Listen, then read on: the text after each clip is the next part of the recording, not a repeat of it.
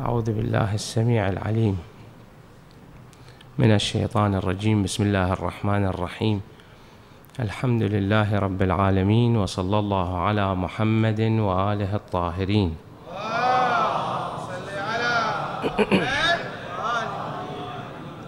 ولعنة الله على أعدائهم أجمعين إلى يوم الدين. قال تبارك وتعالى في محكم كتابه الكريم إنا عرضنا الأمانة على السماوات والأرض والجبال فأبين أن يحملنها وأشفقن منها وحملها الإنسان إنه كان ظلوما جهولا. صدق الله العلي العظيم. عظم الله أجورنا وأجوركم بمصابنا. بسيدنا ومولانا أمير المؤمنين صلوات الله وسلامه عليه. في ليلة هذا اليوم يصادف ذكرى هدم أركان الهدى.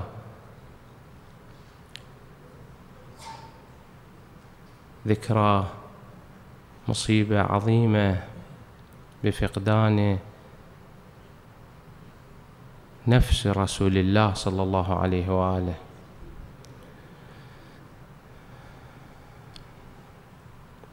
أسأل الله تبارك وتعالى أن يجعلنا من أتباعه وخدامه وممن حمل الأمانة أمانة ولايته من دون أن يكون ظلوما ولا جهولا. هذه الآية الكريمة بإجماع المفسرين بالنسبة إلى الأمانة. إنا عرضنا الأمانة هي ولاية أمير المؤمنين صلوات الله وسلامه عليه. السماوات والأرض والجبال. أبوا إباء إشفاقي وليس إباء تطاول. فأبين أن يحملنها وأشفقن منها. الإباء يعني الرد القاطع لكن لا من باب التطاول والامتناع. إنما إشفاقا. إشفاق يعني الإنسان الذي يتظلم في رد شيء من حيث أنه لا يقدر عليه. فأبين أن يحملنها وأشفقن منها وحملها الإنسان. إنه كان ظلوما جهولا. الله تبارك وتعالى يحصر الإنسان بالنسبة إلى تحمل هذه الأمانة في عنوانين لا ثالث لهما. إما ظلوم بهذه الأمانة وإما جهول. وهما صيغة مبالغة. يعني جدا جدا ظالم. ليس ظلما بسيطا خفيفا عاديا عابرا. ظلوم. وجهول جدا جدا جاهل في حمل الأمانة. ليست هناك هفوة أو غفلة عابرة. جهول. لم يستخدم القرآن الكريم ابدا. هذه الكلمة صيغة المبالغة في الجهل. ابدا. إلا في هذه الآية. بالنسبة إلى عظائم موارد الجهل في الإنسان القرآن الكريم لم يستعمل مادة المبالغة. حتى في قضية قوم لوط إني أراكم قوما تجهلون. هذه الأمانة بين ظالم وجاهل في الإنسان. يقولون إن طريق جهنم محفوف بالنوايا الحسنة طريق جهنم طريق النار طريق الشقاء محفوف مفروش بالنوايا الحسنة. هذه يمكن أن تكون العمدة في مشكلة أمير المؤمنين عليه الصلاة والسلام التي أدت أخيرا إلى أن يسأل الله تبارك وتعالى الإمام يسأله أن يقبض روحه. هذه هي المشكلة. أقرب الناس إلى أمير المؤمنين عليه الصلاة والسلام وهم الحواريون وهم قادة جيشه. هؤلاء ليسوا ظلمة إنما صدرت منهم مواقف أدت بكل مشاريع أمير المؤمنين عليه الصلاة والسلام إلى الانهيار. حتى قال وأفسدتم علي رأيي بالعصيان حتى قالت قريش لابن أبي طالب رجل شجاع لكن لا علم له بالحرب. لله أبوهم لقد قمت بها يعني بالحرب. وأنا دون العشرين. وقد ذرفت على الستين. يقول الآن أنا فوق الستين سنة عمري. أنا ما أفهم الحرب. لله أبوهم قريش. أنا ما كانت عندي عشرين سنة. أربعة عشر سنة ستة عشر سنة كنت أخوض الحرب ناهض بالحرب. أنا ما أفهم أنا ما أفهم الحرب. ولكن لا أمر لمن لا يطاع. وأفسدتم علي رأيي. منو؟ قادة الجيش. هؤلاء الحواريون. هذه قضية تاريخية في روايات صحيحة مسجلة. منو الذي دمر أمير المؤمنين عليه الصلاة والسلام؟ منو؟ معاوية أو عمرو العاص أو الأعداء؟ كلا. هؤلاء ما كانوا يرتقوا لأن يجابهوا أمير المؤمنين. منو؟ منو كانوا هؤلاء؟ أمير المؤمنين شنو كان ينقصه في المعركة؟ شنو دمر أمير المؤمنين؟ دمره. وأفسدتم علي رأي بن الإنسان حتى قالت قريش لابن أبي طالب يعني شنو؟ يعني ما يعرف سياسة ما يفهم. هذا كلام أمير المؤمنين يقول. قريش ليش تقول هذا الكلام؟ مجموعة من أعظم المقربين إلى أمير المؤمنين هم السبب في دمار أمير المؤمنين صلوات الله وسلامه عليه. ليش؟ بنوايا حسنة بنية حسنة أرادوا أن يخدموا أمير المؤمنين الذين ظل سعيهم في الحياة الدنيا وهم يحسبون أنهم يحسنون صنعا. شوفوا الكافي روايات صحيحة. كتب الإمام أمير المؤمنين عليه الصلاة والسلام يوم الجمل. فد واحد سامعين اسمه من أصحاب الإمام زين العابدين عليه الصلاة والسلام أبو حمزة الثمالي عنده ابن من أجلاء الأصحاب اسمه علي علي بن أبي حمزة الثمالي. هذا من أصحاب الإمام الصادق عليه الصلاة والسلام. يقول هو يقول الحديث في الكافي يقول قلت قلت الإمام الصادق عليه الصلاة والسلام قال كلاما الإمام الصادق استشاط غضبا. هذا الجليل ها هذا الجليل ابن الجليل.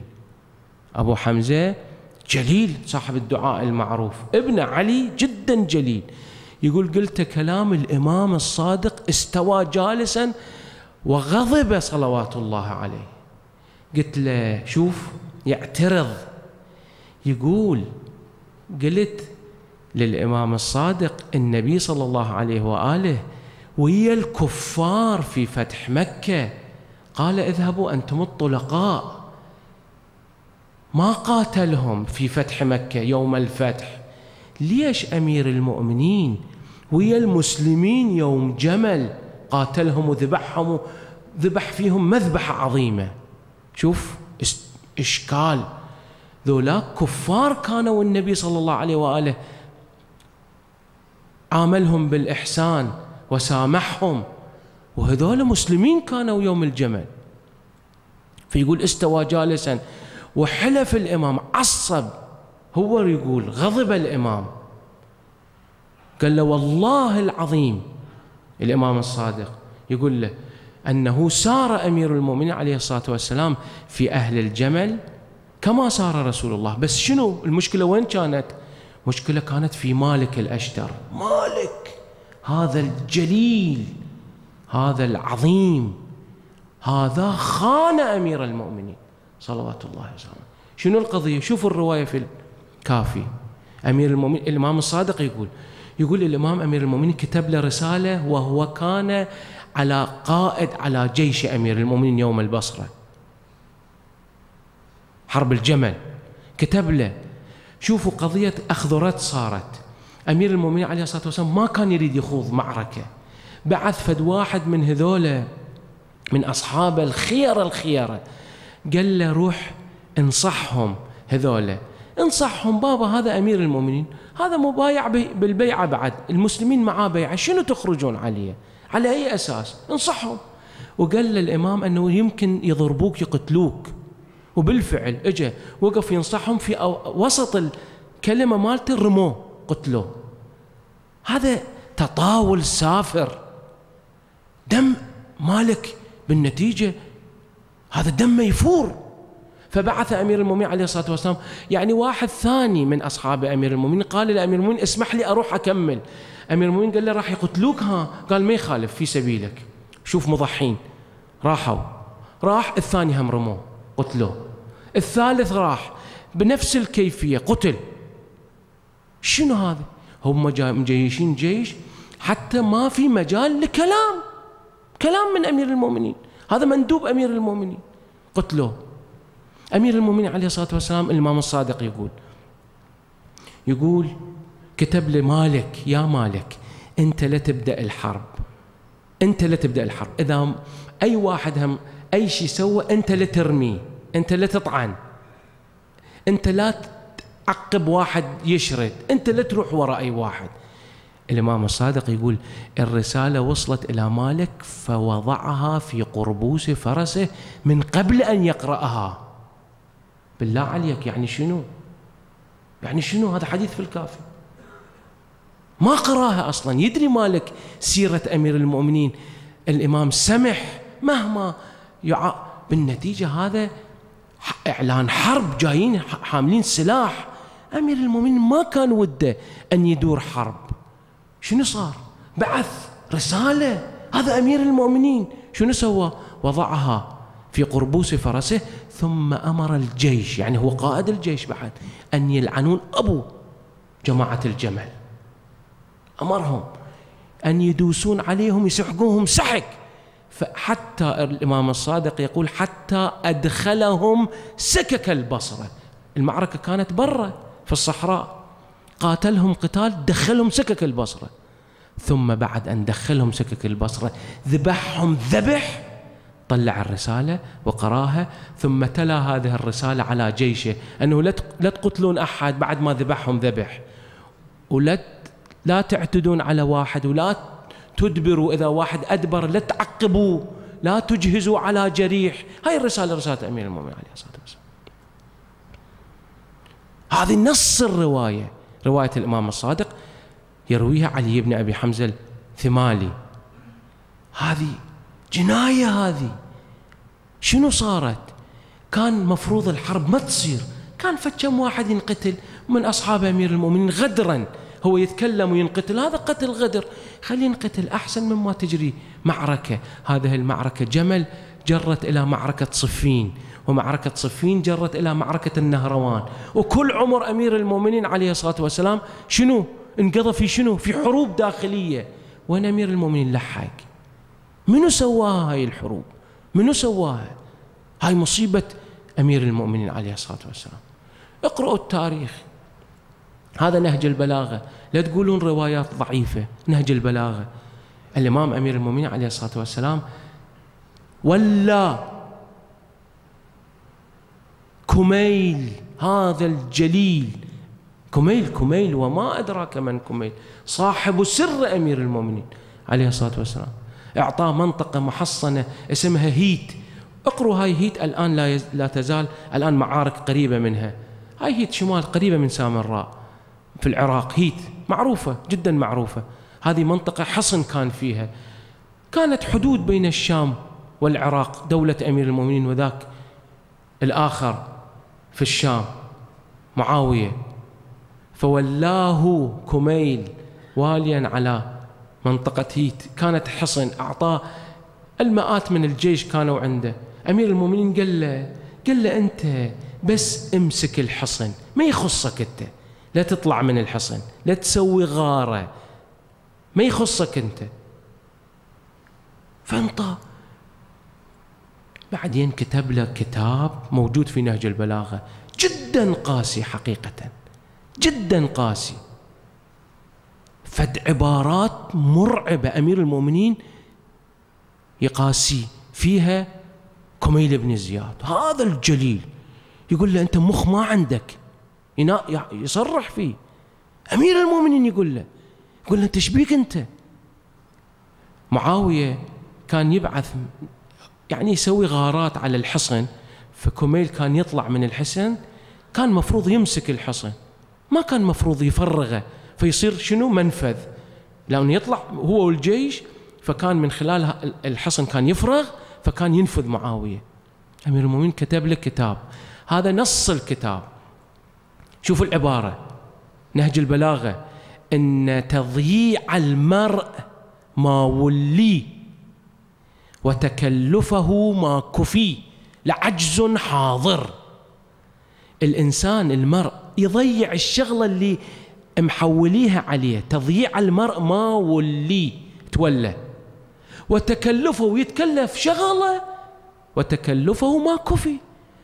ما كلفناك إحنا. إحنا ما قلناك تسويها. ليش تذب نفسك تتعب نفسك في شغلة أنت مو مكلف بها لعجز حاضر وفعل متبر. متبر يعني مهلك.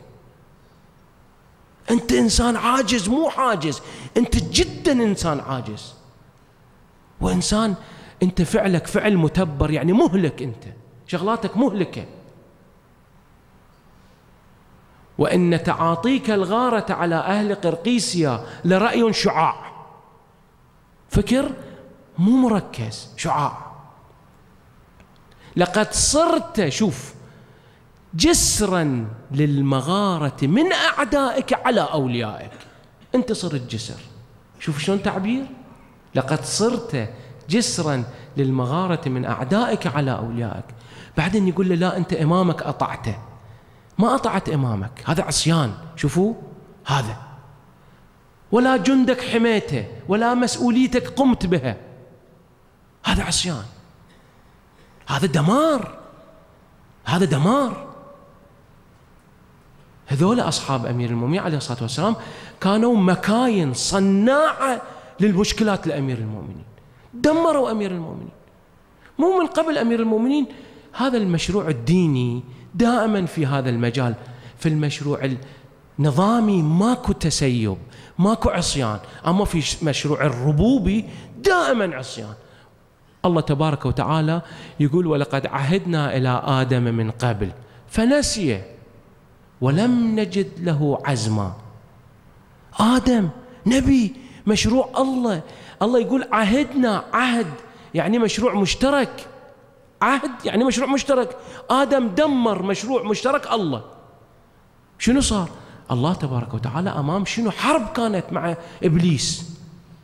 الله يقول إحنا اتفقنا ويا آدم. ولقد عهدنا إلى آدم. إحنا اتفقنا وياه. عهد يعني اتفاق عمل مشترك. الله تبارك وتعالى مشروع تدمر بسبب شنو؟ وعصى آدم ربه فغوى. في نفس الآية هذه سورة طه. سورة طه ست آيات. أول يقول ولقد عهدنا إلى آدم من قبل فنسي ولم نجد له عزما. ما شفنا فيه همة. هاي مصيبة حقيقة. هاي النوايا الحسنة. آدم اقروا التاريخ اقروا الروايات. حقيقة من منطلق حسن. يوم مثلا مالك أو مثلا مثلا مثلا كميل. هذول من منطلق حسن يريدون يخدمون أمير المؤمنين. بس ما كانت هذه خدمة هذه كانت دمار هذا عصيان هذا عصيان. دمروا أمير المؤمنين. شوفوا الرواية. القضية مو أمير المؤمنين لا تقولون هذا صوت أمير المؤمنين. الله في مشروعه. هذا آية قرآنية. عهدنا يعني شنو؟ لغة عربية عهد اتفاق مشترك. منو دمره؟ آدم نبي. فنسيه ومو مشكلة مو بس نسية. ما شفنا فيه عزم ولم نجد له عزما لا تقولون أمير المؤمنين المشروع الديني المشروع الرباني الإدارة الإلهية هذه سمتها. ما تستعمل سيف. فدائما في الإدارة الإلهية أكو عصيان. ومن بعد العصيان أكو تخبط. ومن بعد التخبط أكو انهيار. انهيار مشروع. الإنسان اللي يصنع المشكلة. شوفوا فد مصيبة أنه الإنسان يريد أن يحسن فيسيء. هاي فد مصيبة هاي مصيبة هاي مقدمة المصيبة. بعدين يريد يحل هذه الخربطة اللي مسويها والله الدمار يصير هنا شوفوا الإنسان اللي يصنع المشكلة مستحيل أن يتمكن أن يقدر أن يرتقي إلى مستوى علاج المشكلة. شوفوا أكو مشكلة أكو مستويان. مستوى صنع المشكلة. كل واحد بمستوى فكره يصنع مشكلة. الإنسان أكو مستوى ثاني مستوى حل المشكلة. حل المشكلة.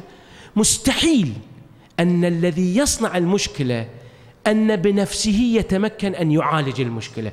معالجة المشكلة تحتاج إلى مستوى ألف مرة. أرقى من مستوى صناعة المشكلة. معقول؟ معقول واحد اللي يصنع مشكلة يقدر هو يحلها؟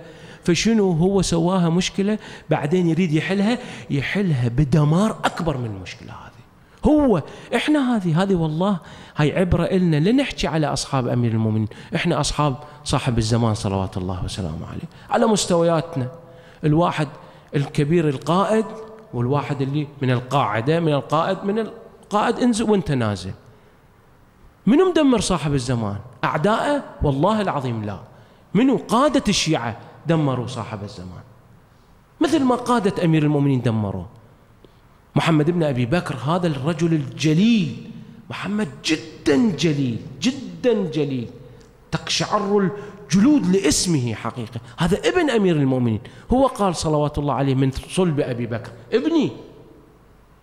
أمير المؤمنين والله ما كان يريد يوليه ولاه على مصر. ما كان يريد يولي. صارت ضغوطات صار لوبي على أمير المؤمنين.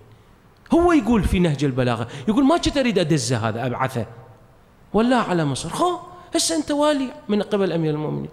بدأ معاوية يجهز الجيوش ستة أشهر على حدود مصر. كانوا يقولوا له يا محمد أنت باغتهم. هذول الحين ضعفاء باكر يقون كان يقول لهم لا إني أكره أن أبدأهم. إن شاء الله يرتدعون. شنو يرتدعون؟ شنو الحكي؟ هاي ولاية أمير المؤمنين. إذا أنت أنت تخسر فيها يدفع ثمنها منو؟ أمير المؤمنين يدفع ثمنها. قعد طالع يباوع. هذول شيئا فشيئا قووا قووا قووا. ما ما حرك ساكن. بعدين هجموا عليه. شاف العسكر قوي شرد من مصر. مصيبتين. المصيبة الأولى ما أدرك أن في هذه القضية هذه الجيش هذا حامل سلاح. ما يصير الشكل الإنسان يتعامل وياه بشنو نوايا حسنة. النوايا الحسنة مو وقتها هذا حمل سلاح. يوم اللي كان مفروض أنت تباغتهم هذا. أنت والي من قبل أمير المؤمنين. مسؤول على مصر. بعدين ما سويت ما حركت ساكن. لما هجموا ليش تشرد؟ أوقف قاتل. لعن أبوهم. شرد. عاف الجند هو شرد. وأخذوها مصر سائغة. أمير المؤمنين نقد نقد قوي في نهج البلاغة. بعد استشهاده قال والا وإني قد أردت أن أبعث إلى أهل مصر هاشم بن عتبة المرقال. سامعين اسمه. ما كنت أريد أبعث هذا محمد. جليل محمد حواري جليل. ولو فعلت لما أنهزهم الفرصة ولما ترك لهم العرصة لا كان يعطيهم فرصة؟ يقومون؟ وبعدين ما كان يشرد ولا ما ترك لهم العرصة يعني عرصة مصر.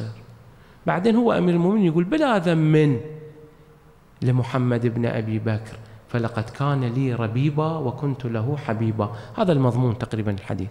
ما أريد ذمة بس هو ذم. يعني محمد بن أبي بكر أنهزهم الفرصة وترك لهم العرص. شوفوا الرواية. في الروايات أكو بعد مقتل محمد بن أبي بكر رفع أمير المؤمنين بعد سماع قتله. وايا بكى أمير المؤمنين؟ شال إيده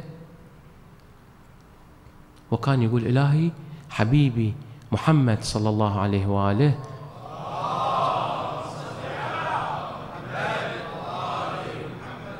أخبرني أنه أنا متى أطلب منك أن تأخذ بروحي أن تقبضني؟ إلهي حبيبي أخبرني أنك أنت تقبل. إلهي أخذني. اقبض روحي. ليش أمير المؤمنين يطلب الموت من الله تبارك وتعالى؟ في مثل هيك ساعة ربما.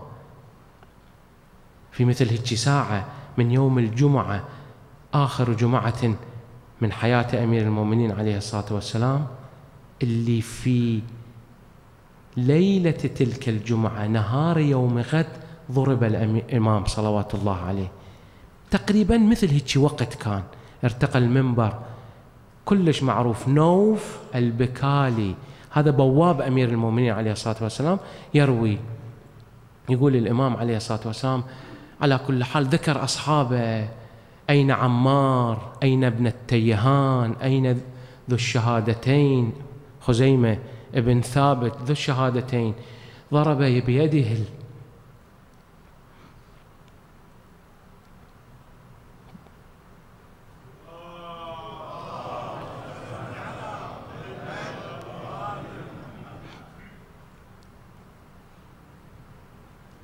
ضرب بيده الكريمة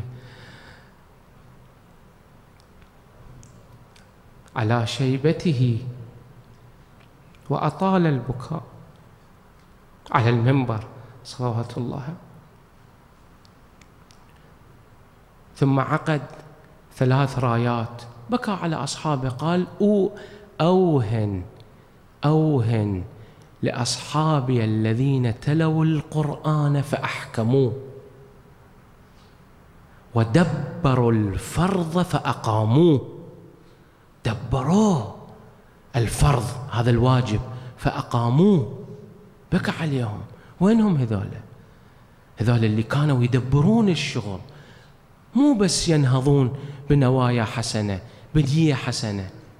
بكى عليهم. الراوي هو نوف البكالي يقول ما دارت الجمعة هاي الجمعة اللي يخطبها أمير المؤمنين حتى ضربه اللعين ابن ملجم. فصرنا كالأغنام التي لا راعي لها. تشتتنا. ما دارت الجمعة. هاي الجمعة ما كملها. حتى ضربه اللعين ابن ملجم. فصرنا كالأغنام لا لا راعي لها. هالشكل كل تراجعت العساكر كلها. ليش وصل هذا الأمر؟ هذه عبرة لنا. هذه ليست قضايا تاريخية محت أولا روايات مسلمة. أريد أن أؤكد أن القضية الدينية ليس فيها سيف فدائما يحصل فيها عصيان. بالنص القرآن الكريم يقول وعصى آدم ربه. ومن وراء هذا العصيان عصيان بواح علني. من منو؟ من أجل القادة الدينيين. فمن وراء هذا العصيان تحصل انهيارات تحصل مشاكل أزمات حروب قتال. وكل الحياة في المجتمع الإيماني كله أزمات. من بسبب ماذا؟ بسبب نوايا حسنة. طريق جهنم محفوف بالنوايا الحسنة. يريد أن يحسن فيسيء. ليش المولى صلوات الله عليه ما يظهر؟ عجل الله فرجه الشريف. ليش ما يظهر؟ والله يصنع به قادة الشيعة ما صنع بجده أمير المؤمنين الحواريون. ليش يظهر؟ مو من منطلق إساءة له لا بنية حسنة بنوايا حسنة بس لا يفهمون الحياة. ما يفهمون شنو لازم يتصرفون. حالة ارتجالية حاكمة على الوضع الشيعي في هذا اليوم في كل أبعاده في المستوى الراقي حقيقة. في قادة الشيعة أكو ناس متهورين أكو ناس متهورين. هذا التهور جلب لنا هذه المصائب الكثيرة جلب لنا هذه البلاوي الكثيرة. الشيعة الآن في كل صقع يذبحون. ليش؟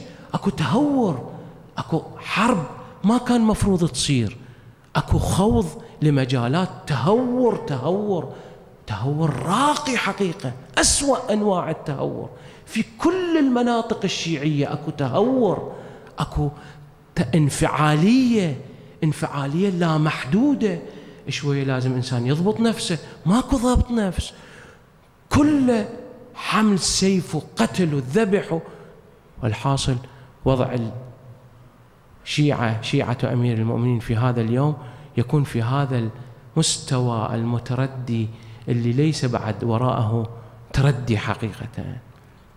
هذه عبرة يجب على الشيعة بقادتهم أولا أن يدركوا الموازين لا ينفعلوا انفعالا. الانفعال يولد المزيد من إراقة الدم المزيد من الويلات للشيعة لشيعة أمير المؤمنين.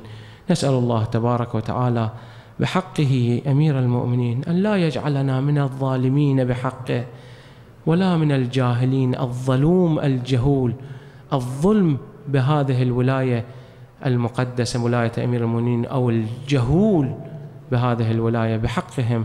وآخر دعوانا أن الحمد لله رب العالمين وصلى الله على محمد وآله الطاهرين.